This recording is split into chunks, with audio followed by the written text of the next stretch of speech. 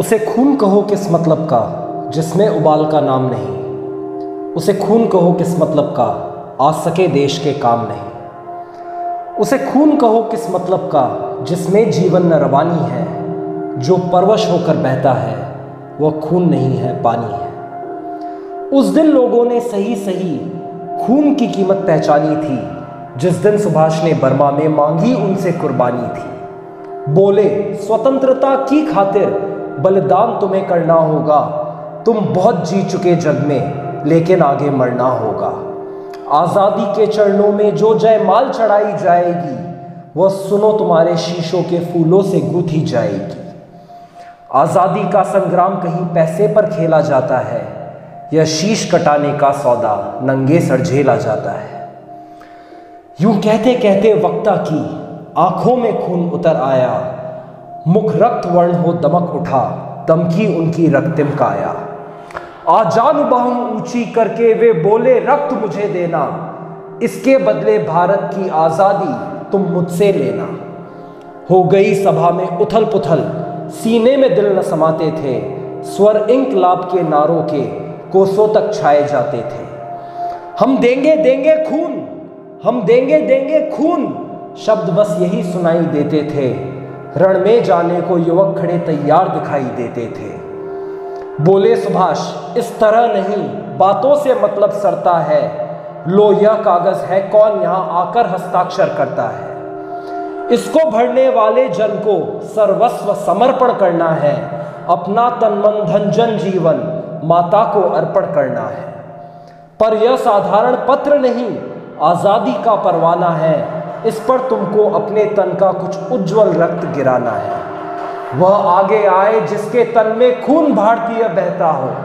वह आगे आए जो अपने को हिंदुस्तानी कहता हो। वह आगे आए जो इस पर खूनी हस्ताक्षर करता हो।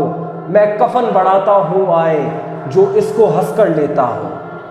सारी जनता हुंकार उठी, हम आते हैं, हम आते हैं, माता के चरणों में लो हम अपना रक्त चढ़ाते हैं। साहस से बड़े युवक उस दिन देखा बढ़ते ही आते थे। चाकू छुरी कटारियों से वे अपना रक्त गिराते थे। फिर उसी रक्त की स्याही में वे अपनी कलम डुबोते थे। आज़ादी के परवाने पर हस्ताक्षर करते जाते थे। उस दिन तारों ने देखा था, हिंदुस्तानी विश्वास नया, जब लिखा महारणवीरों ने खून से अपना इतिहास नया। खूनी हस्ताक्षर श्री गोपाल प्रसाद व्यास जी की कलम से। कुछ अपने शब्दों को जोड़ के इस कविता को आज के परिप्रेक्ष्य में एक अंत या ये कहें, एक नई शुरुआत देने का प्रयास करूँगा। व्यास जी की कलम से लिखे शब्द आज भी मुझे उस समय की याद दिलाते हैं जब इस देश को सोने की चिड़िया कहा जाता था। जब लोग देखते थे उन लोगों की ओर जो इतिहास के पन्ने बदलने का सामर्थ्य रखते थे। सुनना पसंद करते थे उन लोगों को, जिनके शब्द उन्हें आत्मसमीक्षण पे विवश कर देते थे। वो है तो यही आपके अंदर, पर उसने सुनना बंद कर दिया है, देखना भी बंद कर दिया है, अब बस भुलावे में आ जाता है। वही झुंड जो उसे पसंद नहीं, उसी का हिस्सा बन जाता है। आज ये देश फिर उस सुभाष को ढूंढ रहा है जिसने आज़ादी को कोई रंग नहीं दिया था।